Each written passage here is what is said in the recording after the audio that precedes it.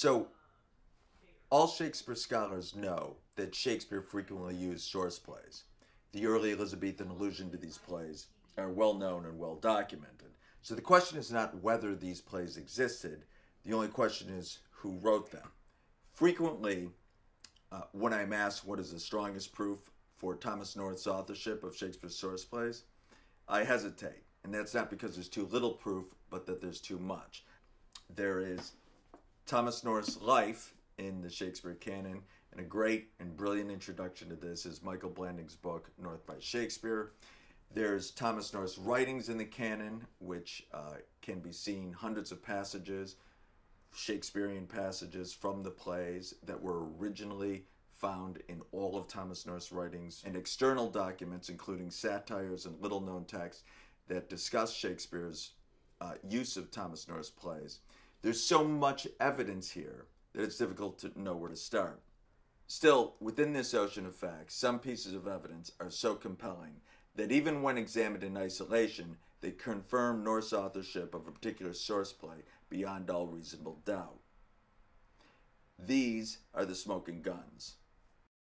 In 2018, June Schluter and I published a book on our discovery of a previously unknown handwritten manuscript source for Shakespeare's plays.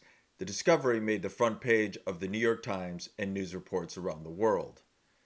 But our discovery was not just dumb luck. The manuscript, written by George North, a likely cousin of Thomas, had been kept in Thomas North's family library. It even complements Thomas's writing and we knew that it just might contain such an important source for the canon.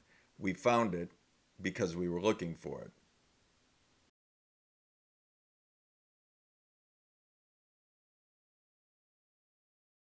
The passages on grief in Richard II derive from similar discussions in Thomas North's Nepos' Lives, 1602.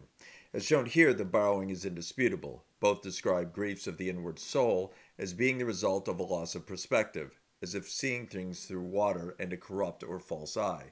In the conclusion, the play even quotes the conclusion of North's passage, with the queen referring to Hope as a keeper back of death who gently would dissolve the bands of life.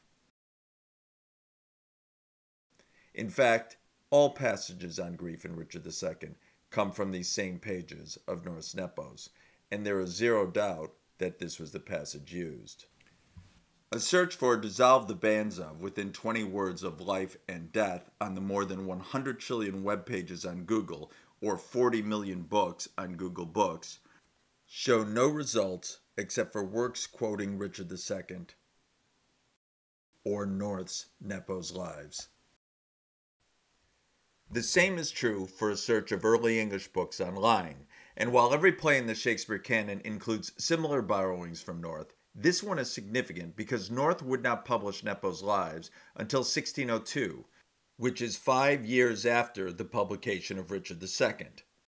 In other words, the original author of Richard II had to have access to North's personal handwritten translation of this passage before he published it. These are the first two smoking guns, and the next video will show what we consider three smoking cannons.